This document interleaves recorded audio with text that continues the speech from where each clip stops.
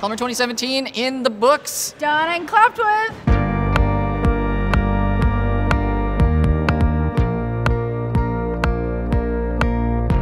Why don't we recap a little bit, like, what did we do over the last 48 hours? We announced Polymer 3 Big announcement there, NPM support. and ES6 modules, and thus closing the longest running issue in GitHub Polymer history. Yes, yes. There was RenderTron for SEO and robot battles. And lit-html. Uh, we have some code labs, and they were always filled with people. Yes, very cool people at the Code Labs, very cool people in the Ask Polymer Lounge. We also had some partners come. YouTube team came. There was Electronic Arts talking about building web components at scale. There was Netflix. There was Simpla CMS. There was Ionic talking about Stencil.js. We had me, we had you. Met some cool people at the after party Did you dance? on the inside.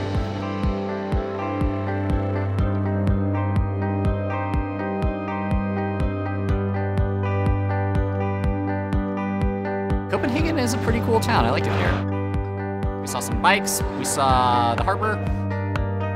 We had hot dogs.